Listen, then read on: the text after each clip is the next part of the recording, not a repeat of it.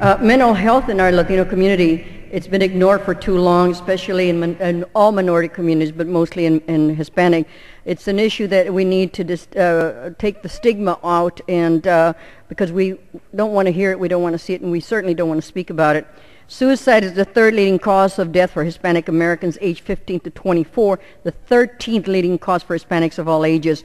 To quote Mia St. John, three-time world boxing champion, Latina, affected by mental illness growing up and a strong mental health advocate, I was the first generation in my family born in America. All I wanted to be was American.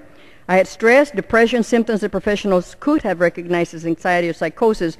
By the time I was 18, I was homeless and contemplating suicide. We, have HR 751, Mental Health in Schools Act, on-site mental health delivery services for our youth, which will save lives and give hopes, and it shares the message to never be afraid or be ashamed to ask for help. I ask for support for mental health and HR 751. I